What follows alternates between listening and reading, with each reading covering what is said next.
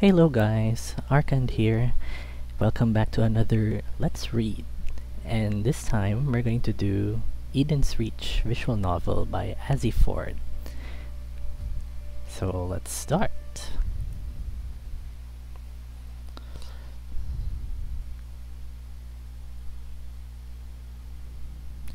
My ears ring as the sound of those damned alarms pierce my eardrums, red blaring across my vision. Red lights are spiraling across a nearly endless hallway, slightly illuminating the metal tiles below me. The air is thin, almost making me suffocate with each breath I take. I try to feel my body and make sense of what was happening. My fur is all bristled, and I can't make out why. Suddenly, a force pushes me onward to the hallway, indistinct screaming coming from all directions around me. The... Ka... M... Confusion continues to fill my mind as I feel something pull on my arm. It was a tight grip, a sensation I'd never felt before. It keeps urging me to move forward, and like clockwork, my body just moves. I slowly lose all control of my body as one thought invades my mind. Run! Just keep running! The grip on my arm suddenly loosens as I continue running forward. Suddenly, a gleam of light comes from the end of the hallway. A door. There are several windows strewn across the edges, glowing in stark contrast of blue compared to the rest of the dreary atmosphere of this corridor. I start bolting towards the door, yet I slowly notice that I wasn't moving. At all. I was stuck in place, kind of like in a treadmill. It adjusts itself based on how fast or slow I'm moving. Yet, the screams and banging footsteps from behind me kept drawing closer and closer. Suddenly, a loud bang sound echoes through my ears, jolting me awake.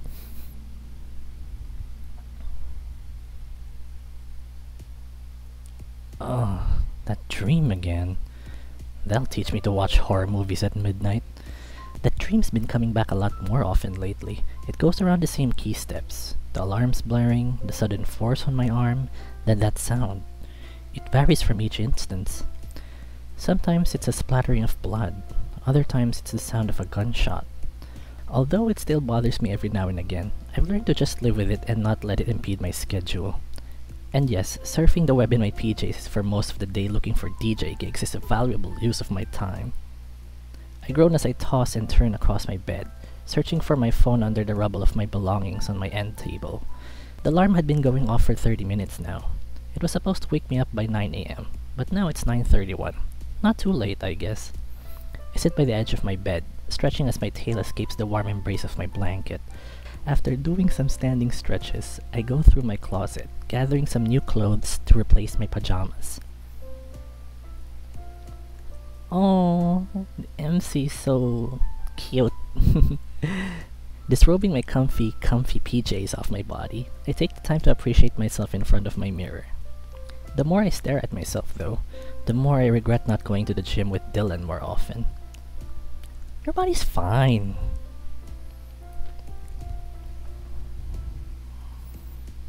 After that disappointing display, I sluggishly put on my shirt and some baggy shorts, my phone placed in one of the pockets. Wow, this home is real swanky. I walk towards the kitchen in a similar fashion to make myself some breakfast. As I begin to plant my butt onto one of the seats, though, I receive a text from someone. I unlock my phone and am greeted by another notification. UOS version? Ah, crap. I gotta re-input all of my information again. I fumble around the screen a bit, making sure my big paws wouldn't accidentally let go of the small-ass projector module. Those things are so tiny, about as thin as a single french fry among the boxes they sell in fast food restaurants downtown. After going through that boring process again, the update asks for my name. Well, that was easy. Let me just type it in here. I'm gonna name him... Averic. Name confirmed. Enjoy your new operating system, Averic. The AI butchered my name a bit, but that's about expected at this point. After exiting my phone settings, I go through all my other notifications. Among them was a text from Dylan. As I grab the carton of milk from the fridge and a box of cereal from the cabinet, I read his text. Yo, Averic, got time to go to Burnham's today? I place the carton and box down on the table and start replying. I thought that coffee shop wasn't your style. Well, I was in the area, so you know, why not meet there? You're lucky I haven't eaten breakfast yet. Of course, Dylan's always been a bit spontaneous with his meetups. I regrettably put back the milk carton in the fridge, as well as a box of cereal in the cabinet. Maybe next time, my darlings.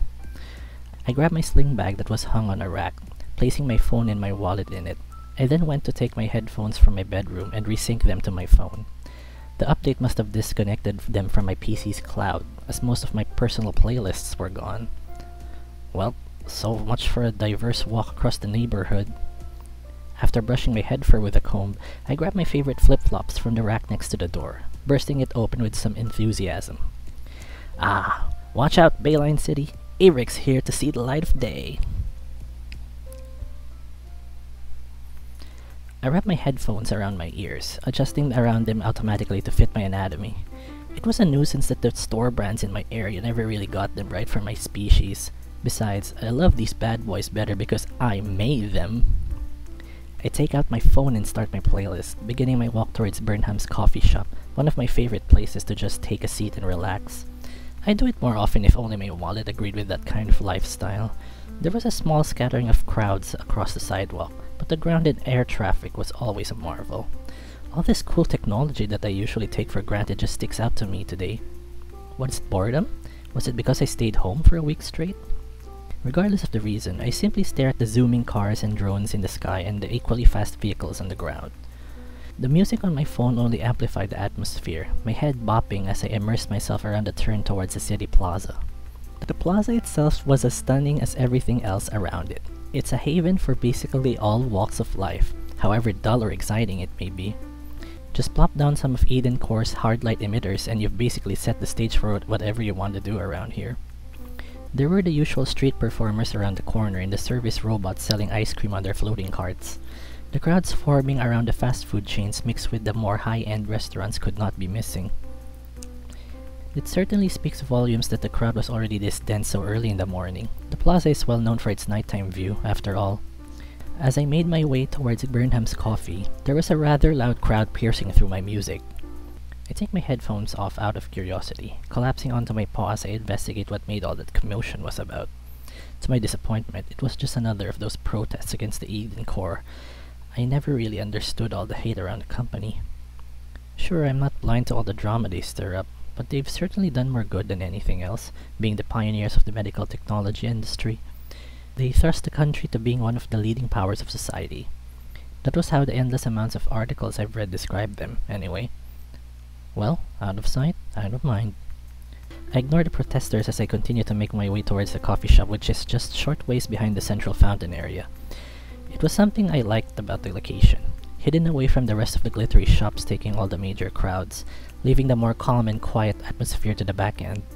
The door automatically slides open as I step onto the carpet, the smell of fresh coffee beans greeting me on the way in. Ooh. Ah, Burnham's coffee. Everything about the place just spells relaxing.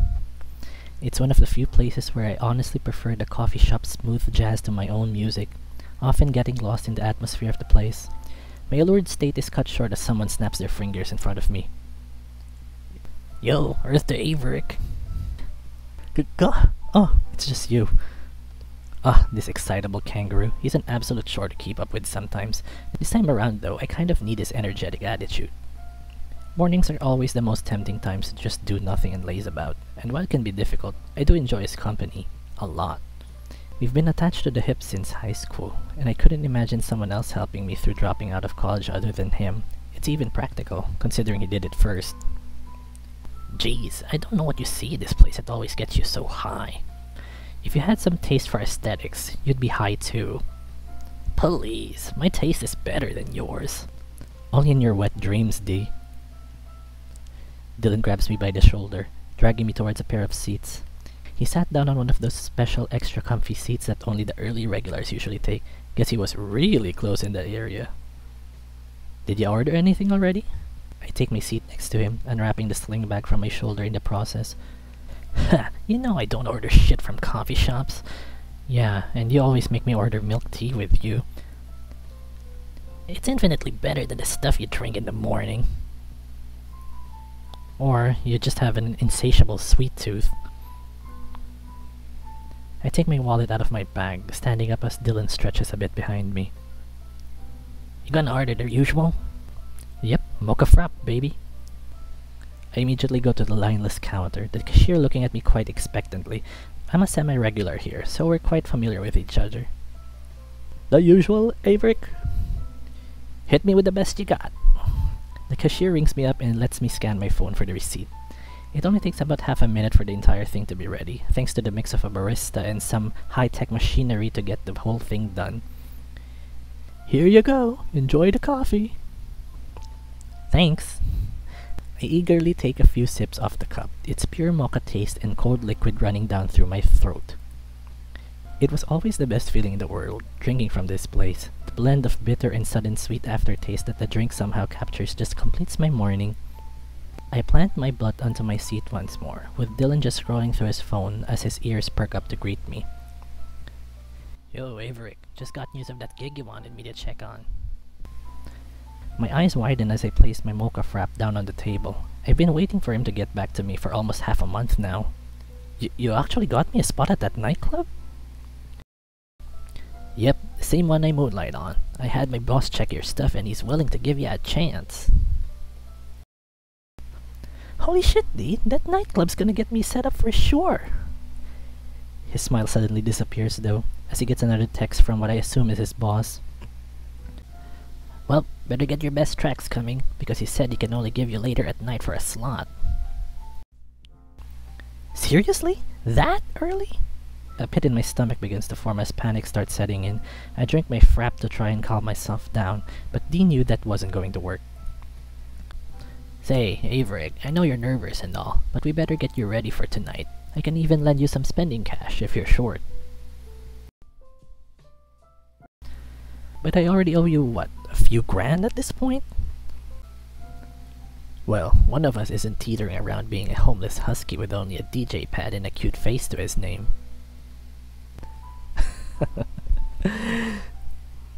uh, okay, but I'm definitely paying you back with the money from this gig. All the better. Dylan pulls me by the arm as he brought me out of Burnham's, almost making me spill my frap. I hastily pull my sling bag with me, creating a chaotic chain of energy, with Dylan leading the fray. D, D, slow down. It won't be until tonight. Exactly why we've got to get through the entire plaza. The entire plaza? But I don't need that much for the gig. Shush, less talk, more walking. Come on, chop chop. Eventually reached the center of the plaza at a breakneck pace, causing quite a ruckus between the two of us I could only hope that the entirety of Bayline City isn't looking at these two idiots in its most foot traffic heavy landmark. Could you please just slow down for a moment? It's not like we're in any rush. Really? Judging by my last look at your wardrobe, our current pace is definitely warranted. Wh what's wrong with my usual duds? Trust me, your clothes ain't gonna cut it in my joint, it's as much a fashion contest as it is a DJ gig there. I decide to ignore several jabs at my choice of clothing, despite wanting to tear him a new one. I just sigh as I pull Dylan to a stop and turn him around to face me. Come on, D. Judging by the way you described it, it's clear that my wallet can't take the beating for stuff your bar considers passable. Uh, hello. That's why I'm here to pay for it. I'll get the cheapest options, if that helps to ease your conscience. Dylan proceeds to wrap his arms around my shoulders as he ruffles my head fur. He knows damn well how to soften me up for any of his ideas. This is just one of the easier tactics he can pull. My fur... Stop being such a crybaby. You'll have plenty of time to get ready, right? Uh, fine. But I get to pick the store. Aw, but it's half the fun. That's why I'm taking it. Dylan and I walk around the plaza's commercial district a while, going through the different boutiques and clothing shops littered in the area. Not a lot of them fit the vibe I was looking for, or they were too expensive, both for me and Dylan. Hmm, this one? What there once. Their clothes are too tight. Really? And here I thought your slim physique let you slip through anything. A little benefit of not having big buns for pecs. The buttons on these clothes would literally fly off if you wore them. Something tells me you'd still enjoy the view, though. Oh, shut up, D. I revel in my small display of sarcasm as another store catches my attention. It carries such a different atmosphere compared to the other surrounding stalls and stores. The inside is mostly blocked out, and it sticks out with its dark paint job amidst the otherwise bright and glittery plaza architecture. Hey, this place seems promising. Let's see. Neon Peaks? I think I've heard of this place. His face lights up with curiosity as if he's only seeing this place for the first time. I've only vaguely heard of something like this being set up a few months ago, which explains the contrasting theme. Well, I'm all ears. What do you know? This here is an electronics store. They sell some armlets and phones in there, but it's fused with a surprising amount of cosmetics. And they're less about design and more about flexible functionality. Whoa, where'd that sudden spiel come from? Heard it from a bar patron. Couldn't stop hyping this place up to his friend. I didn't think they'd actually build a branch downtown. Huh, and what about that flexible functionality this place is known for? I may have an idea. I'm gonna be keeping it as a surprise though. Of course you will. I roll my eyes as I enter the store and, and am immediately immersed deep into the atmosphere. The hard masonry of the plaza was replaced by the soft foam to carpet flooring of the store. The place has a cooler hue of blue to it, which only amplifies the ambience playing in the sound systems. Holy shit, they weren't kidding about this place. I think I just found my favorite store in the plaza. Hey, hey, don't lose focus. Our goal's right there. He points towards the doorless closet filled with both folded and hanging clothes. I rush towards it and peruse the selection as soon as I am able, with Dylan to the side casually helping me out. As I kept flipping through several vests and jackets, I started slowly realizing what Dylan meant by flexible functionality. Most of the selection is RGB synced clothes that change and react to the store's system. Upon closer inspection, they're surprisingly cheaper compared to other brands. These cut nearly half the usual cost. As I continue browsing through the rows of clothes, Dylan suddenly pokes my shoulder. Hey, Averic, I bet that'll look great on you. Hmm, okay, let me try it on then. Oh, nice. I quickly put on the RGB jacket that he pointed out to me. Afterward, Dylan takes me by the shoulders and ushers me in front of the full-length mirror nearby. I look at my reflection, observing the jacket in its full glory. It wasn't particularly snug if a bit baggy. I guess the tailors had, well, bigger people in mind when they designed these. It's pretty big. It was the only size they got. Besides, I'm sure you'll grow into it. Hmm, I guess the size is fine. But what about the price tag? Don't worry about it, but if it bothers you so much, it's actually the cheapest option that looks decent. The real question is whether you like it or not. Yeah, I do actually. I'll have to tweak around the settings a bit, but this one speaks to me the most. Quickly take off the jacket and hand it to Dylan. He takes the liberty of folding it neatly before wrapping it around his arm. I straighten out my shirt as it was dragged by the jacket, while Dylan pulls out his wallet. Alright, I'll just have this rung up. Why don't you wait outside? No thanks, I'll just walk around in here for a bit, browse through the rest of the selection. Gotcha. Meet me by the entrance? I give him a nod as he makes his way towards the register. I go about my way and browse through the rest of the electronics section first, which is just opposite the apparels. They even sell the latest armlets in the market, all decked out in those boxes also used for watches. I guess they serve the same purpose, but that only begs the question as to why watches even exist to this day. Suddenly, my phone rings from receiving a notification. I take it out of my bag and pop the screen up. Immediately, I see a message from an unknown number.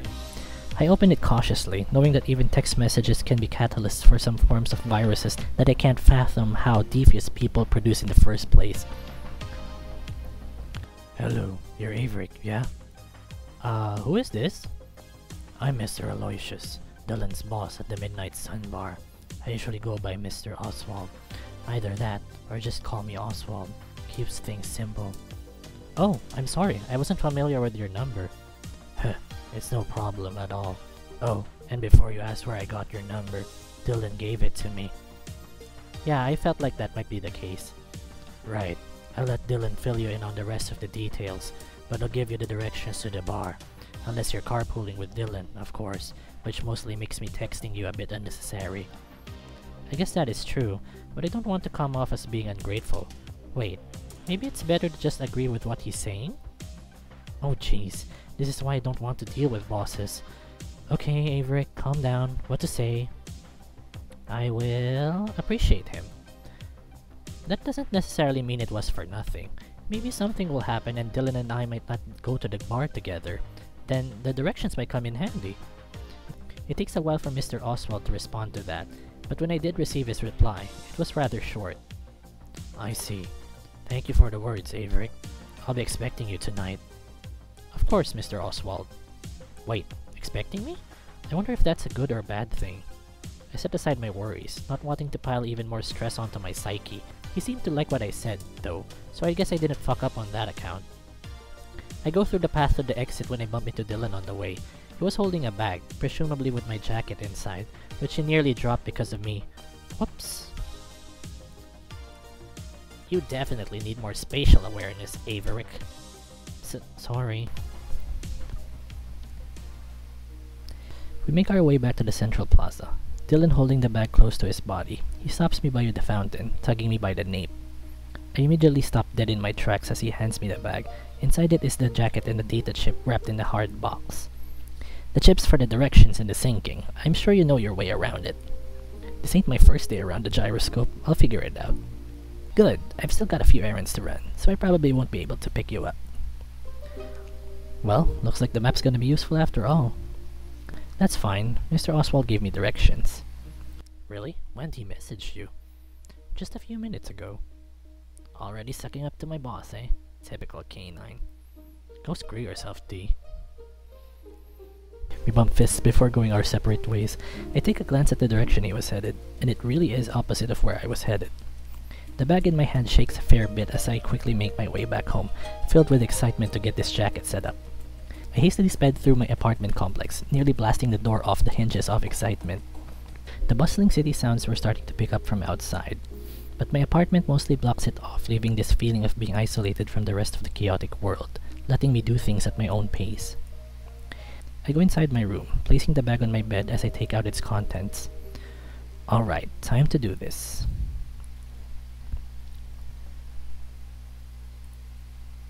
Later that day,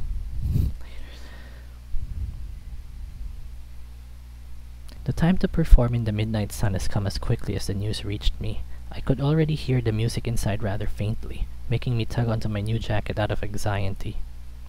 This is it. Behind the bouncer in front of me is the start of my actual career. I take a deep breath, steeling my nerves for what's to come. Then, as I make my first step, someone suddenly pounces on me, nearly tipping me over. Hey, look at you! Jeez, D, did you really have to? Involuntarily cut off as soon as I saw Dylan's whole getup. He looks all dapper in that tight-ass looking clothing. Knowing him, he probably can't endure that kind of crap for long. What, you like what you see or something? Sorry, just not used to you looking like a responsible adult. Don't get used to it. Serving drinks to drunkards certainly isn't responsible. Whatever you say, bartender. We both make our way to the front entrance where the bouncer is guarding the neon gilded doors with as little as a droplet of emotion in his being besides scary. He stared me down like I was some kind of troublemaker, taking occasional glances at Dylan. The bouncer stops us right where we stood, his large paw standing in the way. His height was even more intimidating, though, as he towers over both me and Dylan by a huge margin. Hold it right there. What's your business here, pup? His grim tone sends shivers down my spine, and his scowl certainly wasn't helping. Uh, um, I'm j just... The hell's wrong with you? Cat who got your tongue? Spit it out already. That's enough from you, you big lug. Stop scaring him already. Sorry, you know scaring the shit out of newbies is the only fun I get around here. Aw, and I thought me checking on you every now and again was enough, Max. Aw, boo-hoo. Bless your poor, delicate Roo heart. Dylan and the big tiger bouncer, apparently named Max, share a hearty laugh before performing a quick secret handshake. Did did the atmosphere just change when these two started talking? I can't believe it. The air definitely seems different. It's as if all the tension from earlier just dissipated. So, D, what's he really here for? Um, I can answer that myself. Max looks at me with an air of skepticism on both his face and tone. Oh, you look like a shriveling prune when I asked you a few seconds ago. I want to tell him that it was his fault why I was like that, but what good would that do? Instead, I just answer promptly. I'll be performing as a DJ here. Huh. You sure you can handle everyone staring at him? He's got nerves of steel when he's on stage. It's a shame you won't get to see it. Yeah, yeah. Just don't indulge the assholes in there. Don't want to add some extra work on my palate. I'll do my best, as always. Dylan then grabs me by the shoulder and ushers me inside on my own as Max opens the doors for the bar. I walk away from the two when suddenly I hear the sound of cloth rustling accompanied by Dylan gasping. The two of them proceed to playfully roughhouse a bit before Dylan follows my lead. What was that about? You wouldn't understand. I guess you're right. Never mind then. We enter the bar, and immediately were assaulted by an array of strobe lights and blasting music. People were dancing in the middle of the bar, the dance floor a pattern of squares lighting up in all manner of different colors. The bar was just to the left of the dance floor, manned by a brown wolf in a rather expensive looking tux. Dylan rushes to the bar right away, catching the wolf's attention. Mr. Oswald, sorry, I'm a bit late, but here, I have this guy with me. Oh, I'll be with you in just a sec. Mr. Oswald walks around the bar, approaching me and Dylan briskly. He lets out a slight huff as he greets us with quite a welcoming expression. Dylan, and you must be Averic. Glad you could make it. The bar is extra busy today, so I'm counting on you. He says the last part while looking at Dylan. I'll do my best as always, Mr. Oswald. Alright, now, as for you. He looks me over with a rather expectant expression, and just like that, the pressure started piling on. Come with me backstage, Averic. We'll have your briefing there. Uh, alright. I follow him towards the other end of the bar where the backstage is. It appears to be covered by a bunch of curtains. As we make our way to it, my eyes wander around the building, observing the strobe lights and the other attachments near it. There are a few box-like structures that were dimly lit on the strobe light setup, and I instantly recognized what they were. Hard light emitters. Where aren't they being put to use? I put these thoughts in the back burner for now though, as Mr. Oswald pulls the curtain to the backstage aside, gesturing for me to go in first.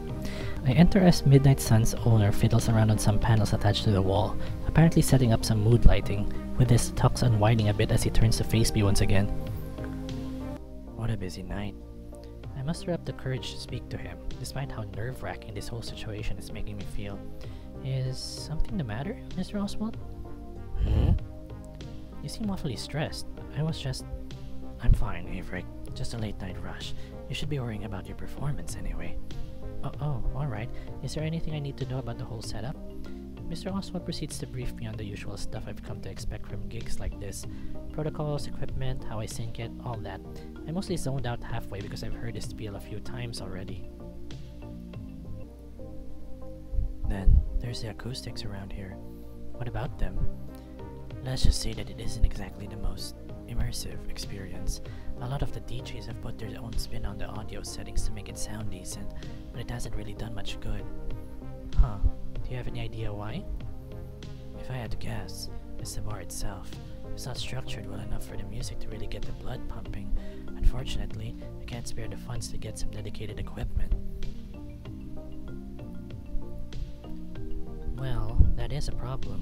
Hmm. The acoustics are a big problem. You won't be able to showcase the music well enough, and it's no wonder that it was blasting at the entrance. The sound's unfocused, all over the place. As I contemplated what the problem was, an idea suddenly sprang to mind. The hard light emitters. Excuse me? The bar has some hard light emitters attached to the strobe lights. We can use them to create a dome for the sound to bounce off of. Hmm. The way they're structured can isolate the sound more, but it can't make an entire dome surrounding the dance floor, especially in a closed-off environment like this. It doesn't have to be an entire dome, just enough for the speakers to bounce the sound off the curved hard light nicely. Mr. Oswald thinks for a moment before he begins to fiddle with his phone. After he does something, a file comes through my phone. It's the access key to the hard light system of the bar, complete with nearly everything at my disposal. I look at Mr. Oswald as he puts his phone back in his pocket. This is me trusting you to give a killer performance. He pats me on the shoulder before he disappears onto the other side of the curtains. I was left feeling uneasy. I was nervous about performing, sure, but that was minuscule compared to the added pressure coming from Mr. Oswald's trust. Somehow, that weighs on me way more than it should. Alright, calm down. I looked towards the DJ on the stage. He was ripping through the panels, his mixing near perfect. The entire crowd was popping to his command. The confidence he's sporting was oozed off of his entire being. If he can do that with less than stellar acoustics, then I can do that too. It doesn't take long for him to finish ripping through his pad on stage. After a few finishing flourishes, clearly trying to take off the lasting numbness from an intense gig, he quickly goes down the steps. I know that feeling all too well. He disappears from view onto the other side of the stage, which slowly meant it was my cue. I get a text from Mr. Oswald as I ready myself to get onto the steps. You're up. Any last minute requests? Hmm, can you kill the lights? And just like that, the lights of the bar all turned off. The crowd silent, taken aback by the sudden artificial brownout. I take a deep breath as I activate the hard light dishes on the strobe lights. Whoa, that is so awesome. It's time to get lit, folks. I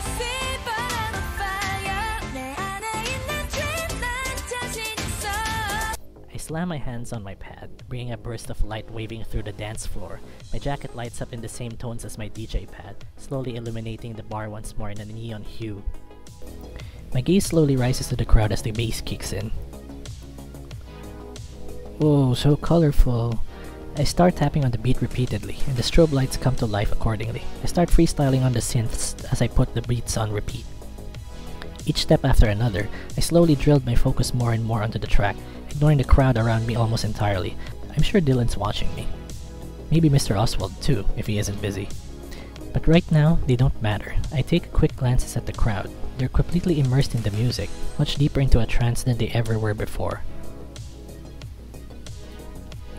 I didn't know much of the specific details, but does that really matter? When I'm on the pad, I'm in control. Before I knew it, the performance was over. A slight silence follows before the crowd erupts in applause, requesting an encore. As much as I'd love to oblige though, there's still another DJ waiting. I half-heartedly bow to the crowd and make my way onto the other flight of stairs afterward, shaking the tension off my limbs while I attempt to calm myself down. When I reach the last flight of stairs, Mr. Oswald greets me with a big smile. He gives me a pat on the back again as he leads me towards the bar. Drinks on the house for tonight. You earned it after all that. R really, sir? I was just doing what I usually do. Mr. Oswald sits on one of the stools, patting on the cushion of the other one next to him. Is that so? If that's the case, I'd like to hear more about what you usually do. I take a seat on the bar stool at Mr. Oswald's left as he signals Dylan for two drinks. I was half hoping I'd get to choose the free drinks for myself, but I guess not. My idle gaze slowly drifts towards Dylan as his quick handiwork gains my attention. His mixology skills are awe-inspiring and eye-catching, but Mr. Oswald redirects my attention towards him. So, Averic, where have you been hiding in the industry? Um, what do you mean by that, Mr. Oswald? He lets out a slight chuckle as he scratches his muzzle a bit. First, we're way past the honorifics. Oswald's fine, since you've definitely earned my respect. Oh, alright then, uh, Oswald. I stutter a bit as I try to rewire my brain to do as he says. Second, what you showed out there, before and during the performance, that wasn't just some run-of-the-mill DJ. You could have fooled me if you said you were biggie in the market. Ah, that's quite the high praise, especially coming from someone like you. We exchange a few silent gazes, his vision flicking between me and what I assume is Dylan from time to time. I slowly get lost in his eyes, vibrantly piercing through the dominating hue of the bar. This might be it. This guy might get me into the rest of the high end of the industry. All those hurdles that I thought were insurmountable, this man could make me leap through all of that. I can't let this chance pass me by. Eventually, Dylan arrives with our drinks. Here you go. Today's special, Vita Sunrise. Oswald and I look at Dylan as the Roo winks at me playfully before he goes to another patron. The wolf in front of me chuckles once more as he downs the drink in one go, gently putting the glasses down in front of me and him. I have to admit, I'm very impressed at Dylan's craftsmanship, even though this is a rather simple beverage. It's also quite aesthetically pleasing as I slosh it around a bit. World's full of surprises. P pardon? Nothing. Just thinking that Dylan, of all people, got me a gem of a person as a DJ for my bar. It's a humbling experience, is all I'm saying. I simply stare at him as I realize that he's referring to me. I blush a bit as I avert my gaze into my drink, hesitating to drink it. I've had alcohol before, sure, but with Oswald right in front of me, it'll make it hard to keep down. Something wrong? You haven't touched your drink at all. It's nothing, Oswald. Just a little nervous. Whatever for? Well, even you have to admit the difference between you, an owner of a rather well-known bar, to me, a DJ from the countryside. Oswald thinks for a moment. He eyes me from head to toe, making me wonder if I said anything wrong. I take a slow step out of my drink, wanting to silence myself under the glass. I occasionally give worried glances his way as he reclines himself from the bar counter, letting out a sigh. Yes, that may be true in some way, but I don't think we're that much different at all. huh? Let me level with you, Averic. Come here. He signals me with his paw to lean closer, and I do so. Yes, the Midnight Sun Bar might be a local specialty of Bayland City, but that's all there is.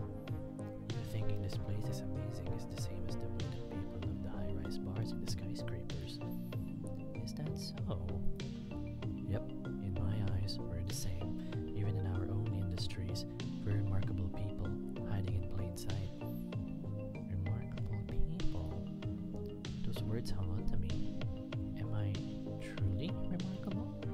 Well, it does take one to know one, and I have very little doubt that Oswald's remarkable in every sense of the word. Wonder, though, how much truth is there in his words? It's precisely why we're the same that I want to. Oswald's ears suddenly perk up as one of them twitches. He places his finger onto what I assume is an earpiece as I hear muffled speaking on the other end. Oswald's face turns grim while listening on. I begin to worry about what's being said, but Oswald starts to speak again before I could ask what was wrong. No, no, we can't cause a scene in front of the bar. Yes, I can handle it. Just let them in. Be on standby for my signal. Right.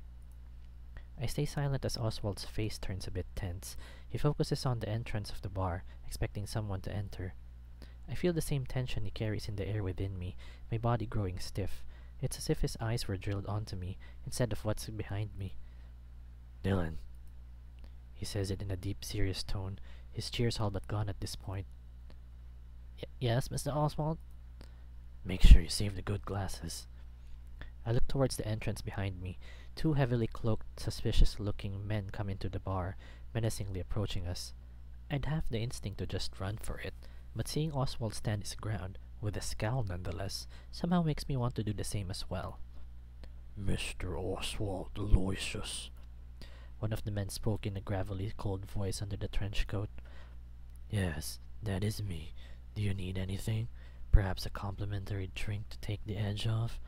The other person circles around me and Oswald, standing behind the wolf. You and your buddy seem to really need it. We're not here to exchange pleasantries. You see, we prefer to get to the point. The two of them begin to close in on Oswald, their aura just extruded, threatening, yet the wolf remained unfazed as he clenched his glass. As one of the men lands his paws on Oswald's shoulder, Dylan suddenly comes rushing in from behind me. Hey, hey, hey! What are you two doing? Shake him off this pl- Dylan's words are cut short as the man closer to me lands a clear punch to his gut, causing the kangaroo to crumple upon the ground. I immediately try to come to his aid and examine him. He holds his stomach as he groans in pain, his face full of agony. Dylan! Before I can even process what has happened to Dylan, the men begin to get handsy with Oswald. They rough him up a bit while he growls under his breath.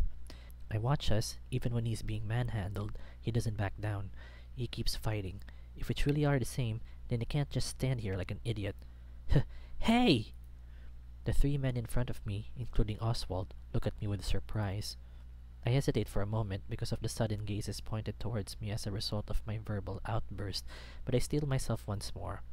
Let him go. You're gonna regret hurting my best friend. One of the men approaches me, turning my bravado into nothing more than an impish yelp from my being that I couldn't contain. Am I, little puppy? Well, maybe I should teach you a lesson or two. The man doesn't hesitate and starts inching closer. He swings a quick strike in towards my muzzle, and I reflexively flinch. I prepare myself for his fist to make contact, but it doesn't. I slowly open my eyes to see that Oswald is already right in front of me, the wolf holding the other beastman's balled up fist with his hand. Hey now, we're all civil people here, aren't we? No need for all of this needless roughhousing, especially in my beloved establishment. Grrr. The beastman backs away while Oswald fixes his tux. Hmm, you'll regret defying us. I shrivel up a bit as the beastman who almost punched me spits those words out. Oswald then directs their attention to the back door. As I grow more focused on the other two, who at this point were in the process of leaving, a hand momentarily grips onto my right shoulder coming from someone behind me. It's Oswald, with his attention seemingly to his earpiece as he goes back to fiddling his armlet. Max, I need you here, ASAP. First aid, one person. Also, please escort the husky safely out of the bar. Still have some business to attend to. Uh, Oswald. I'm left speechless as he looks back at me with an unexpectedly gentle expression. It's okay, Averic. I'll take it from here. You go have a good night's rest, yeah? Uh, alright. Within a few seconds, Max arrives, first aid kit in hand. He has the scowl that he's worn since I got there. What a fucking nuisance. Uh, oh, you're Max, right? Oh, lovely. The pup remembered my name. So, you're gonna get going or what? What about Dylan? I'm gonna have to babysit the idiot. Leaves that front door unguarded, so I had someone cover for me. Don't go adding on to my workload now. Uh, alright, just please make sure he's okay. He'll be fine. He's got a lot tougher skin than you, that's for sure. I'll just take that as an okay. The target's certainly difficult. I watch him carry Dylan onto his back, taking a few quick glances at them, with Max being surprisingly gentle with the roo. He responds accordingly to the pained groans my best friend was making. I appreciate the gesture, in a way. At least he's careful when he has to be. Or maybe it has something to do with Dylan's relationship with his co-workers. I proceed to just place all of my thoughts and questions on the back burner for now, feeling increasingly exhausted as I make my way towards the exit. I just go and leave the tension of the situation that had just occurred behind me. As soon as I exit the bar, though, things begin to feel off. The roads downtown seem rather empty, barren, even.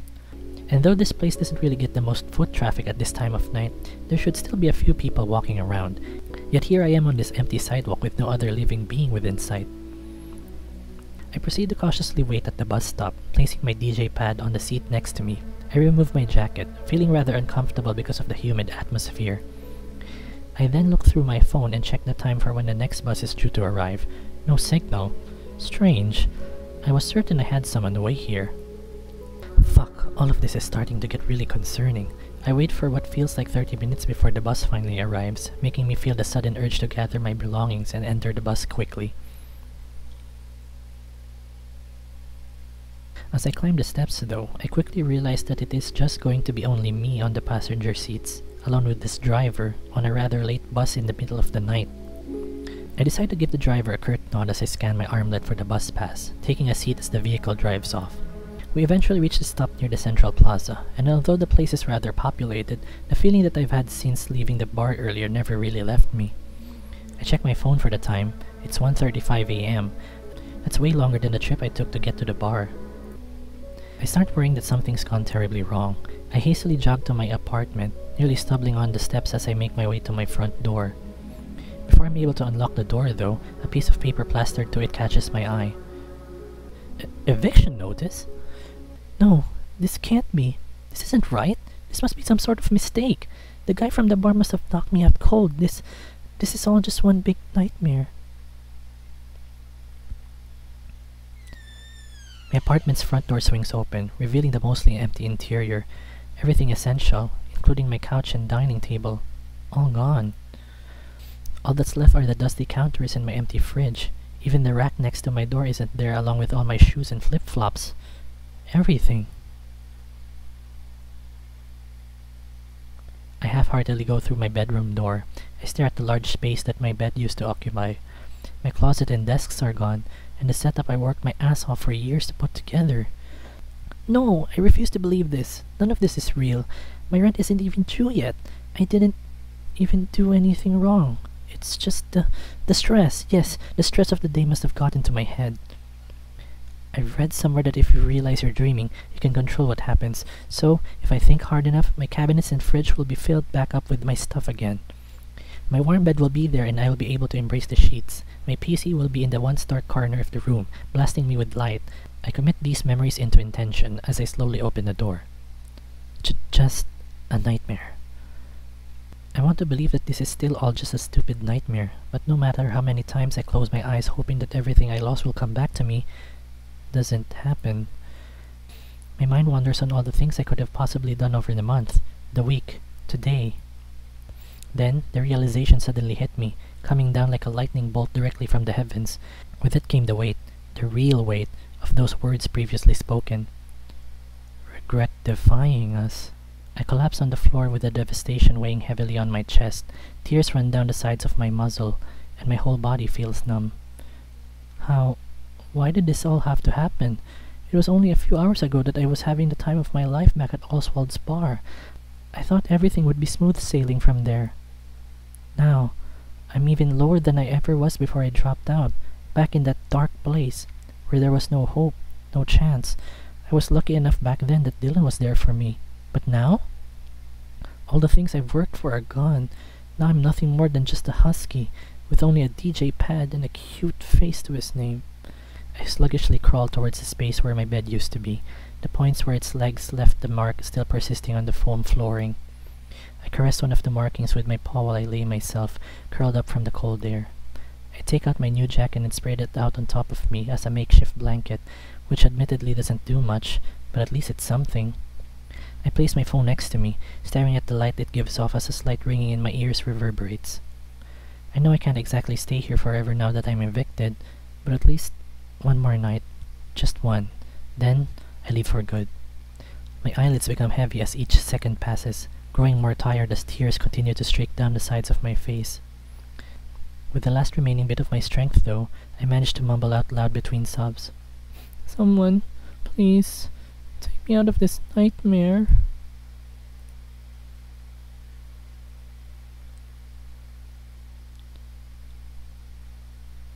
Okay, so I think this is good stopping point. Okay, I'll just save.